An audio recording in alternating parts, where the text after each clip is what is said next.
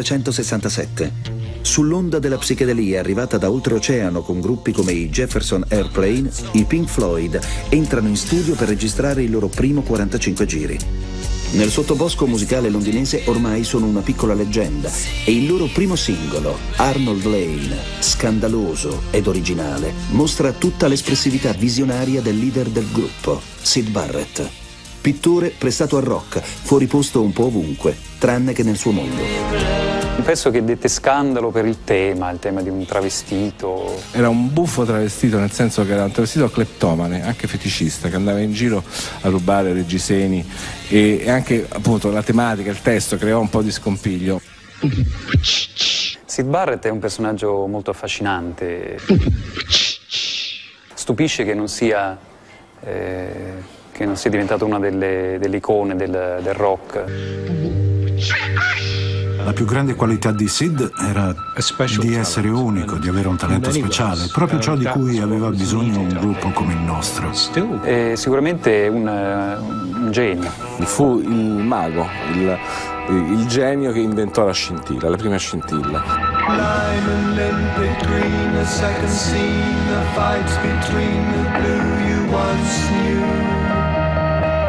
Della serie avere la macchina del tempo e poterci tornare sarebbe il massimo della vita perché secondo me in quei due anni, 67-69, si è creato l'impossibile, tutto quello che di più bello poi abbiamo anche sfruttato in tempi successivi. Sono gli anni 60, gli anni della swinging London di Carnaby Street e di Mary Quant. Sconfitti i fantasmi della crisi post-bellica, la città inglese, risvegliata sulle note del blues e del rock, diventa il faro della cultura e della moda giovanile, il centro mondiale di nuove sperimentazioni artistiche destinate a cambiare la storia. Si parla sempre dell'America di quegli anni, no? il 66, il 67, la rivoluzione in atto, eh, la California, ehm, è tutto vero ovviamente, ma insomma anche Londra non era da meno, Londra era uno dei centri di questa rivoluzione, la Londra del 67 in particolare, proprio quando, quando uscirono i Pink Floyd, era, era una città che stava letteralmente esplodendo. Nomi come Beatles e Rolling Stones inaugurano la prima British Invasion musicale, riempendo i locali più trendy e alla moda, al suono del beat e del rock, mentre sulle note di My Generation migliaia di giovani urlano il loro rifiuto dei modelli esistenti per forme nuove che rompano con il passato. Ed è proprio questo il clima che respirano anche tre giovani studenti di architettura, Roger Waters, Richard Wright e Nick Mason, che suonano con la loro band The T-Set. Quando nella loro vita irrompe un brillante studente d'arte, Roger Kid Barrett, Sid Barrett, per loro tutto cambia per sempre. Sarà lui a trovare il nome del gruppo ispirandosi a due bluesman degli anni 30, Pink Anderson e Floyd Council. È il 1965 e sono nati i Pink Floyd. L'UFO Club, ecco io vorrei avere veramente la macchina del tempo per mettermi sopra e andare all'UFO Club, che doveva essere uno scantinato schifoso, proprio pulcioso e umido, però lì succedeva tutto. Uh, well, I mean, I think, I Il nostro obiettivo era di diventare un gruppo di rhythm and blues. Non eravamo certo partiti con l'idea di sviluppare un suono moderno psichedelico. Anzi, eravamo influenzati da tutti i gruppi più importanti dell'epoca. Band come i Rolling Stones, i Beatles, Jimi Hendrix e gli Who. Però non riescono perché sono tecnicamente piuttosto scarsi e questa è stata la loro fortuna. Sid non era assolutamente un chitarrista tecnico, almeno non nel senso di poter scrivere un trattato o dare lezioni di chitarra, ma d'altra parte non lo è mai stato nessuno dei Pink Floyd. Tanto per raccontare un aneddoto, è il tastierista Richard Wright che accordava il basso a Waters, che lui non era capace di accordare il basso. Non potendo fare le cover bene, hanno dovuto per forza inventare uno stile proprio, anzi un modo di fare musica completamente diverso. Credo che questo principio valga ancora oggi per gran parte della musica rock. Non basta possedere una tecnica fenomenale. Nel rock è molto più importante saper scrivere grandi canzoni. Per il primo LP dei Pink Floyd, il genio di Sid Barrett attinge al magico mondo della sua infanzia, dando vita a un disco, The Piper at the Gates of Dawn, che si impone subito come manifesto della cultura psichedelica di quella stagione.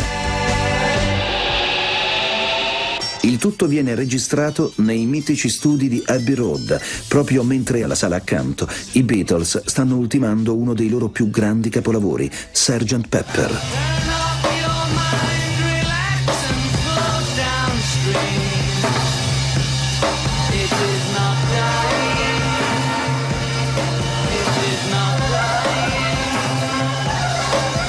I Beatles hanno esercitato su di noi un'influenza fortissima, non tanto dal punto di vista musicale, quanto piuttosto da quello di ciò che saremo riusciti ad esprimere in futuro. I Beatles hanno introdotto un concetto nuovo, hanno fatto capire che un album è importante almeno quanto un singolo, se non più importante.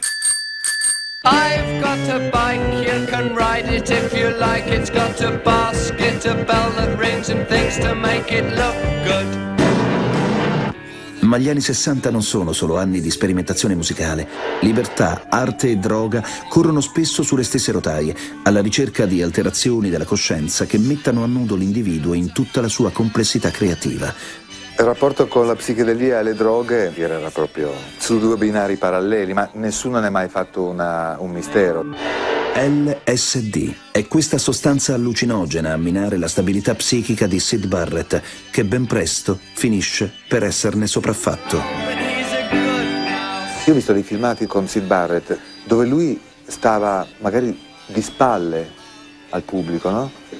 Come se io parlassi così e produce magari un suono in mezz'ora. Poi non si presentava alle prove o ai concerti. Finì per essere impossibile mantenerlo nel gruppo anche se ci fu un tentativo. Quando venne David Gilmour alla chitarra, che fra l'altro era amico d'infanzia di, di Sid Barrett, i Pink Floyd cercarono di mantenere anche Sid Barrett un po' defilato, un po' nell'ombra. Nick Mason, che ha scritto un bellissimo libro eh, raccontando l'intera storia dei Pink Floyd, spiega questa, questa, fase curiosa in cui sono in cinque. Penso che il momento di maggior frizione sia stato quello in cui Sid e David Gilmour erano nel gruppo contemporaneamente e la situazione era scomoda per tutti. La situazione giunse a una crisi risolutiva in febbraio, in macchina, mentre andavamo a prendere Sid, qualcuno disse dobbiamo passare a prendere anche Sid e la risposta fu no cazzo, lasciamolo perdere. Raccontare così può sembrare brutale, quasi crudele, ma la verità è quella. La decisione era priva di ogni sensibilità, come noi del resto. Dato che procedevamo coi paraocchi, pensavamo che Sid fosse semplicemente un piantagrane.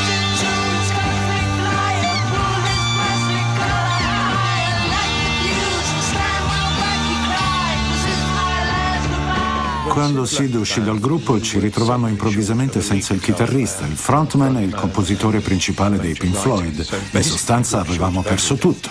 Ma direi che quasi subito abbiamo trovato la nostra direzione ed è stata subito chiara.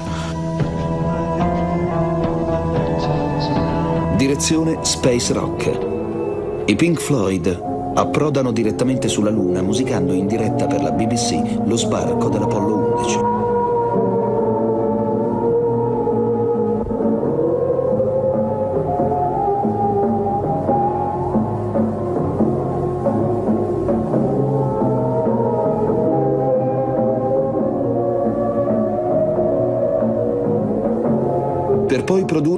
Terzo album, Uma Gumma, che vola subito al quinto posto nella top inglese, consacrandoli tra le band più influenti.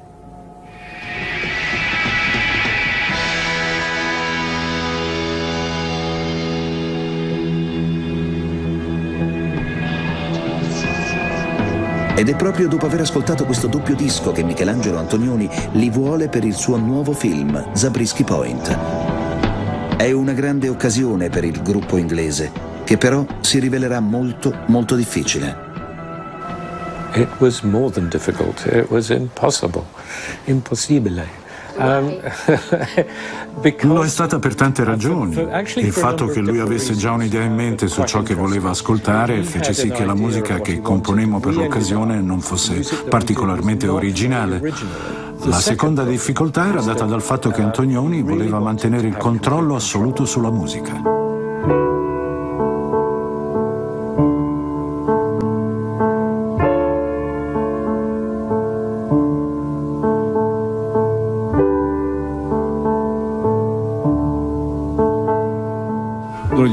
Pensate, Us and Them, cioè uno dei pezzi più belli di Dark Side, Antonioni trova sempre tutto troppo noioso, troppo forte, troppo, insomma eh, rimane poco, doveva fare tutta la colonna sonora, invece alla fine rimane poco, ma rimane una cosa fondamentale.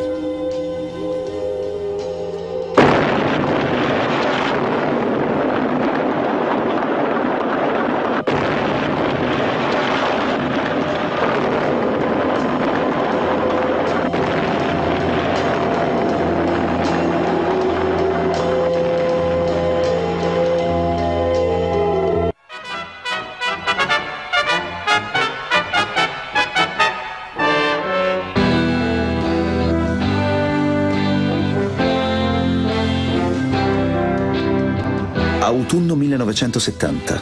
I Pink Floyd registrano Atom Heart Mother. Abbandonate le sonorità psichedeliche, il disco si apre a nuovi mondi di espressione affidandosi a brani più morbidi e sinfoprog. Ad aprire le danze è la title track, un brano di ben 23 minuti che riempie l'intero lato A. Credo che neanche la band fosse ben consapevole di ciò che stava creando a livello musicale.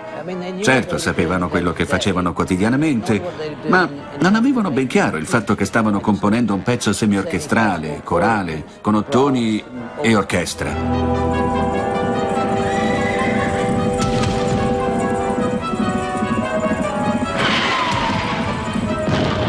La copertina, come per Moore e Umagumma, viene affidata ad un grafico d'eccezione, Storm Torgerson, è nato un sodalizio perfetto, destinato a fare storia. Do you like the cow? Ricordo che parlavo con un mio amico su come fare una copertina che non fosse una copertina. Lui mi disse, perché non disegni una mucca? Nel momento in cui lo disse riuscì a visualizzare l'immagine nella mia mente. Mi sembrò ottima quest'idea. Una mucca era quanto di più stupido ci potesse essere. Uno dei motivi per i quali scegliamo la mucca è il fatto che rappresentava l'opposto della direzione che avevamo intrapreso negli ultimi anni. Molte delle nostre copertine precedenti infatti erano piuttosto complesse e ricche di effetti visivi. La casa discografica dei Pink Floyd la odiava perché non la capiva. Perché una mucca? chiedevano. Perché? Perché? Non la sopportavano, anche perché non c'era il nome del gruppo. Sulla copertina non c'era scritto Pink Floyd, c'era solo la mucca. Fu un successo enorme, proprio perché era un'immagine molto diversa. Quando si entrava in un negozio di dischi si vedevano tante copertine diverse. Alcune le avevo disegnate io stesso. Su alcune c'erano ritratti i gruppi, su altre ancora immagini psichedeliche. E poi c'era la mucca. L'effetto era sensazionale. Se uno guarda la mucca non sembra che stia dicendo Ehi, che ci fai nel mio campo? Fuck off. È un po' come se dicesse Favanculo.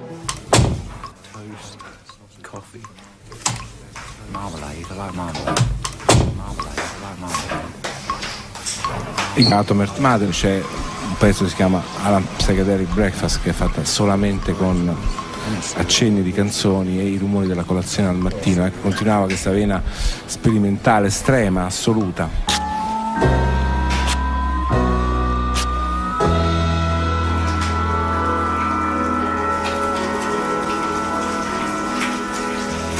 Uh, uh, L'idea di questa canzone è nata dalla continuazione di qualcosa che avevamo già suonato dal vivo. L'idea può sembrare un po' pretenziosa, ma il nostro obiettivo era quello di creare una combinazione tra una musica e suoni naturali attraverso l'utilizzo di effetti sonori.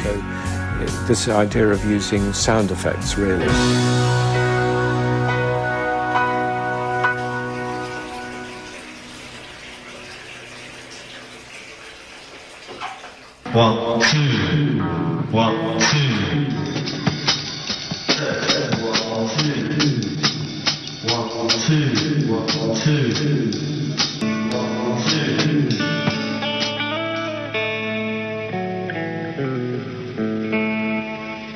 Vous essayez les lumières? Enfin essayez, faites ce que vous pouvez, qu'on ait quand même une ambiance.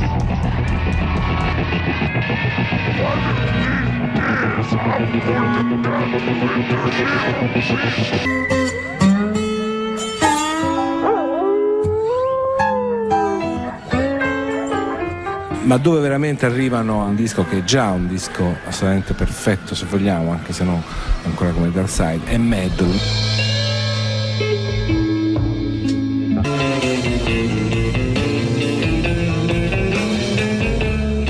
la musica dei Pink Floyd forse è quella più evocativa di tutti. Per cui tu eh, ti chiudi gli occhi, anche ad occhi aperti, incominci a viaggiare. Dopo Meddle e il film di Adrian Maven, Live at Pompeii, i Pink Floyd sono finalmente pronti a tornare sulla Luna. Ma questa volta sul suo lato oscuro. È una notte del giugno del 72, quando Roger Waters si ritrova solo con se stesso nelle stanze buie degli Abbey Road. Tra sintetizzatori e mellotron comincia ad armeggiare con gli oggetti più disparati, creando rumori di marmitte, aeroplani, acqua e traffico. Poi afferra delle monete e ne mixa il suono con il rumore del suo pugno. È il battito del cuore. Quella notte, di fatto, iniziano le registrazioni di The Dark Side of the Moon.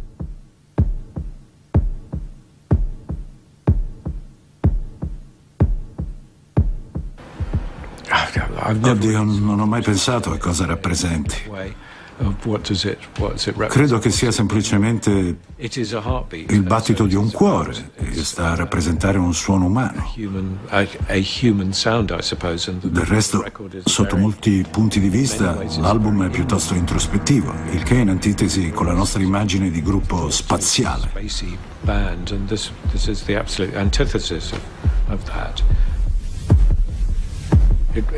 Non si trattava del battito di un cuore reale, ma di un ritmo ottenuto suonando la batteria in modo molto leggero. The Dark Side of the Moon non è solo un album da ascoltare, ma un mondo da abitare. Le canzoni si susseguono una dietro l'altra senza interruzioni, creando un'atmosfera unica ed estraniante per un album impeccabile che trionferà commercialmente battendo ogni record e diventando un'icona immortale del rock.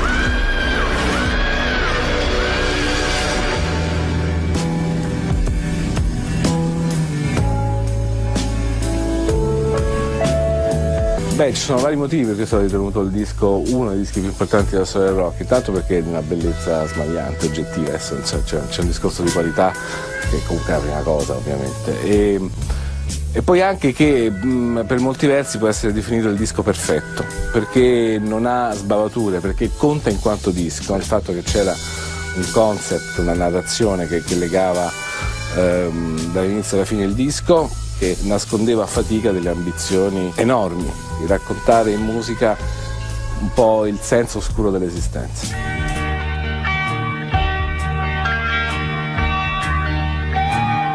The lunatic is on the grass. Dopo The Dark Side of the Moon avevo deciso di comprare casa. Andai dal direttore di banca dicendogli che mi serviva un mutuo. Lui mi chiese che cosa potevo offrire come garanzia, che io gli risposi Beh, ho un disco che è al numero uno negli Stati Uniti. La mia risposta però non lo colpì affatto, tant'è vero che mi chiese se non avevo da proporre qualcosa di più concreto. La Dark Side of the Moon è una pietra miliare che fra 300 anni rimarrà lì. Non c'è un'unica spiegazione per il successo di The Dark Side of the Moon. Di certo il disco si basava su un concetto molto forte. I testi erano in un certo senso straordinari, perché pur essendo stati scritti da Roger molto prima che compisse i 30 anni, riuscivano a far presa sugli ascoltatori di 20, 50 o persino 60 anni. Una parte di ciò che lo rende così speciale quindi sta proprio nei testi.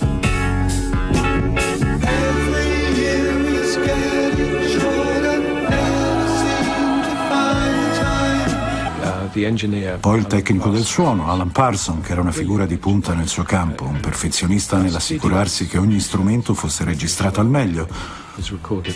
E poi, naturalmente, C'è la bellissima copertina disegnata da Storm che ha svolto un ruolo considerevole. Lo stile della copertina di The Dark Side of the Moon fu scelto da Rick. Fu lui a dire che non voleva una delle solite immagini sciocche che usavo sempre. Mi resi conto che l'ottavo album dei Pink Floyd richiamava la luce e le luci sceniche dei loro concerti. Ricordavo il prisma studiato a scuola. Io ci ho aggiunto soltanto uno sfondo diverso. Il prisma appartiene a tutti, ma il lato oscuro dell'immagine è solo dei Pink Floyd, perché è nero. Roger Waters ha chiesto ad amici e sconosciuti di riflettere su ciò che li angoscia alla soglia dei 30 anni. E come un ragno, l'album tesse ogni risposta in un arazzo di emozioni. La paura di volare, di invecchiare, la violenza, la solitudine, la follia, l'avidità.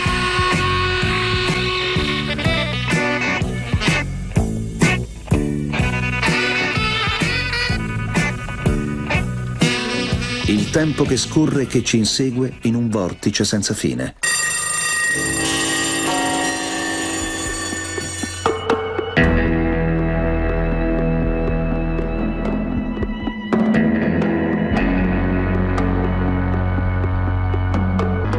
L'alienazione dell'uomo sempre più solo in un mondo ogni giorno più distante.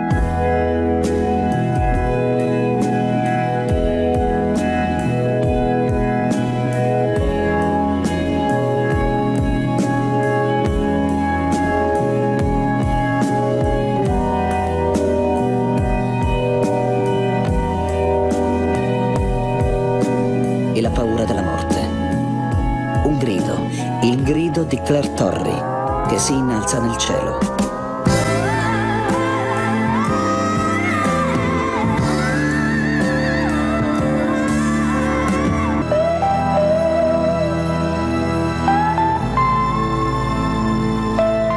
Se nel 68 Sid Barrett era uscito dai Pink Floyd con Wish You Were Here, diventa palese come di fatto la sua presenza sia rimasta una costante nella vita artistica della band.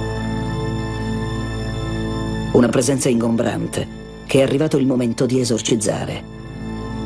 È una sequenza di note malinconiche nate dalla chitarra di Gilmore a scoperchiare un vaso di Pandora di ricordi. Con quel tocco di chitarra lì sono quattro le note di inizio di Shine on the Crazy Diamond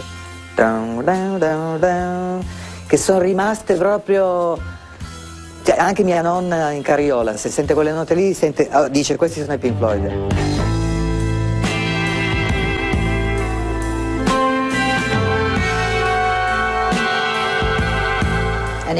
In inglese l'espressione wish you were here si riferisce proprio all'assenza di qualcuno. Ero appena tornato dagli Stati Uniti, dove c'è molta gente che ti stringe la mano in modo molto cordiale, senza che questo significhi assolutamente niente. Per questo ho scattato una foto di due uomini che si stringono la mano in uno studio cinematografico. È un luogo di sogni. L'uomo che stringe la mano all'altro appare infuocato, perché in realtà non è reale. C'è questa leggenda, ma non è una leggenda. In realtà io a un certo punto l'ho intervistato David Gilmour, ne abbiamo parlato di quelle, altre cose, alla fine ho detto Gilmour mi, consenta, ma uh, vorrei farle una domanda una, su uno di questi punti controversi della tua storia. Dica la verità, ma è vero che mentre stavano facendo Shine on New Crazy Diamond, cioè che la più grande elegia dedicata proprio al ricordo di Sid Barrett, eh, qualche anno non lo vedevano, si presentò in studio e Gilman ha detto sì, è, è andata esattamente così.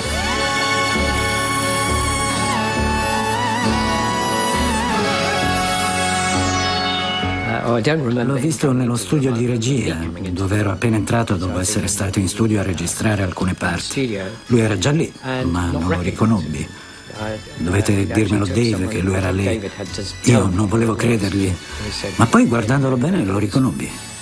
La sensazione che ho provato nel vederlo è stata allarmante. Sembra che ognuno di noi abbia una versione diversa di quel pomeriggio. Ma al di là di questo, è stata un'esperienza che ha lasciato il segno.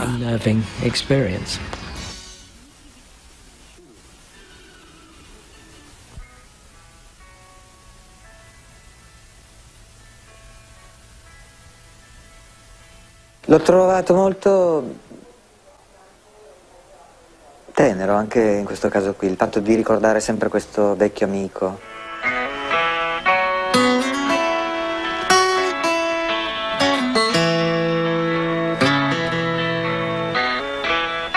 Wish You Were Here forse la, la, la, canzone più cantabile, quella che tutti, anche molti ragazzi, hanno più facilmente cercato di riprodurre alla chitarra. Prima del loro più grande successo discografico, The Wall, i Pink Floyd pubblicano Animals, un album dal carattere orwelliano che denuncia la deriva degli uomini sempre più alienati dal capitalismo globale. È un grido di rabbia di Waters che divide l'umanità in cani, pecore e maiali. Credo che sia stato il disco giusto al momento giusto, come hanno notato in molti. Infatti proprio in quegli anni stava esplodendo la rivoluzione punk. E forse Animals è un album che riflette quella realtà, essendo un disco leggermente più semplificato rispetto a quelli precedenti. Il disco si concede un unico, insolito momento di delicatezza. And watching for pigs on the wing.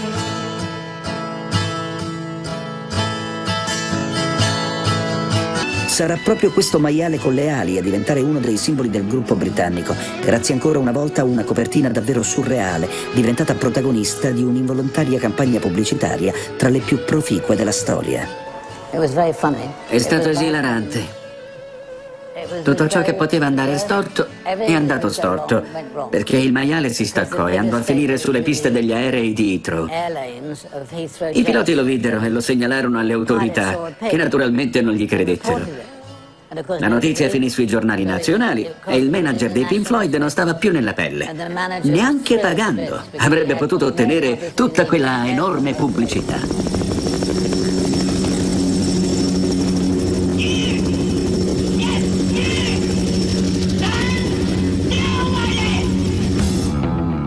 Ma il grido di rabbia di Waters non si esaurisce con Animals. Nel nuovo album, The Wall, il bassista dei Pink Floyd è sempre più arrabbiato con la società che lo circonda e i meccanismi economici che la governano. Tematiche ricorrenti da sempre nei Pink Floyd, ma che ora sembrano prendere il sopravvento schiacciando di fatto gli equilibri della band. Waters che in realtà stava crescendo moltissimo, soprattutto nell'ideazione dei progetti, nel senso che tutti i testi erano suoi, quindi la parte diciamo, di, dei contenuti eh, tendeva sempre più a darla lui e quindi naturalmente cominciò a diventare un po' il, eh, il leader. Questo andò, andò fino a Wish You Were Here ancora e Animals, insomma, con, con, alcuni squilibri, già molte tensioni, ma reste. Non credo che Roger volesse veramente andarsene. Dico solo che l'idea di lavorare in un gruppo cominciava a stargli stretta. Um, Infatti, per il disco successivo, The Wall, ci spiegò nei minimi particolari come voleva che suonasse l'album. The Wall è la storia dell'uomo moderno, eh, raffigurato come rockstar. È l'antica metafora del, della vita come teatro, come palcoscenico. È la storia di un uomo che, in base a diverse esperienze frustranti ed alienanti della sua infanzia, è portato ad isolarsi sempre di più, a costruire un muro che lo isoli dal mondo circostante, finché si rende conto di questa sua regressione e, e va in pezzi e torna al punto di partenza, cioè senza muro che lo protegge. È un'opera che può essere letta a tantissimi livelli, proprio il suo fascino, la sua complessità è nel fatto che tutti possiamo leggere in quel muro i nostri muri personali, interiori e, e, non a caso un anno dopo l'abbattimento del muro di Berlino fu chiesto a Waters di rifare un anno dopo per celebrare questo evento The Wall. Per il tour mondiale la band allestisce uno show senza precedenti. C'è il maiale volante, megawatt su megawatt di luce, altoparlanti posizionati persino sotto i sedili del pubblico e uno stuca che esplode in volo. E se in questo canto del cigno i restanti Floyd partecipano in modo più defilato alla realizzazione del concept, Gilmour comunque firma una delle canzoni più belle e commoventi della loro intera discografia.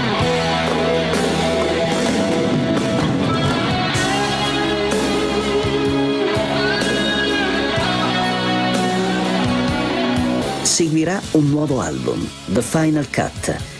Il titolo lascia presagire ciò che sta per accadere, la fine di tutto, ma in realtà è la fine solo per Waters. Ormai si sente sempre più stretto nei panni di rockstar e di lì a poco, nell'85, dà ufficialmente le dimissioni dai Pink Floyd.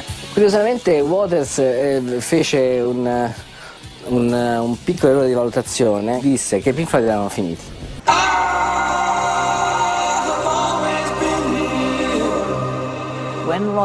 Dopo l'uscita di Roger dal gruppo, i Pink Floyd avevano bisogno di guarire. Per questo motivo avevano bisogno di letti di ospedale e non di letti di albergo. Ecco, i letti che utilizzammo erano letti di ghisa così pesanti che ci vollero 30 persone e mezza giornata per portarli tutti in spiaggia. Poi iniziò anche a piovere. Il tour che segue è, se possibile, ancora più mastodontico dei precedenti. Il rischio è che gli effetti visivi abbiano il sopravvento sulla musica e anche se non mancano le critiche, il successo del tour è sorprendente e verrà ricordato come uno dei più lunghi della loro carriera.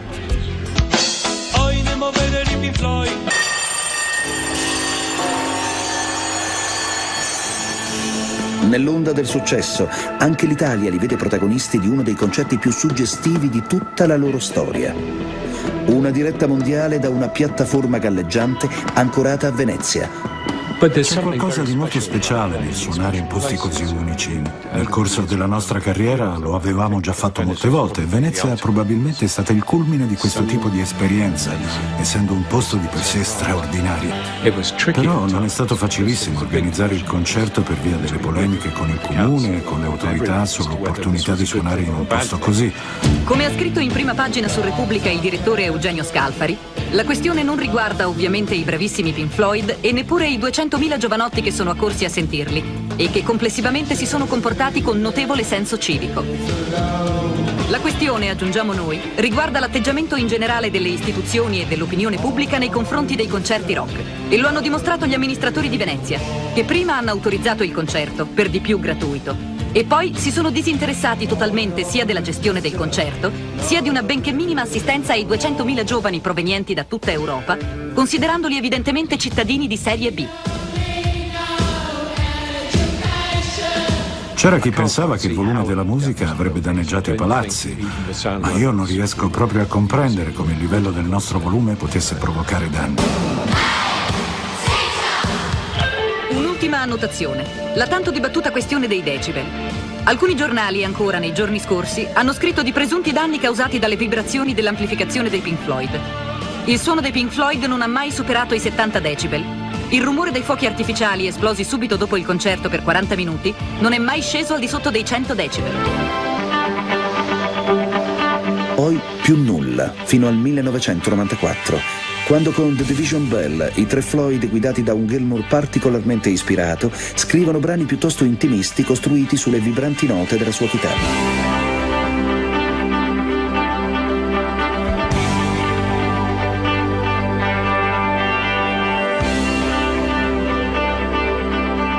L'abilità di ricreare le inconfondibili e magiche atmosfere dei Pink Floyd è una garanzia di successo, nonostante le critiche dei fan della prima ora.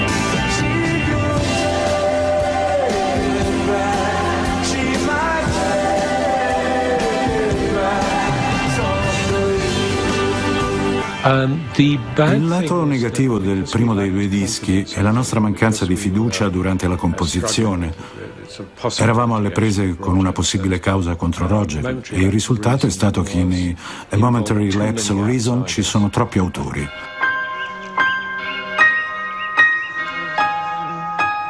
Eh, quel periodo post Roger Waters, molti l'hanno anche accusato, quel periodo come una fase più commerciale, dei, dei dischi più accessibili. Non bisogna dimenticare che erano a quel punto anche gli anni Ottanta. Con The Division Bell siamo tornati ad essere un vero trio.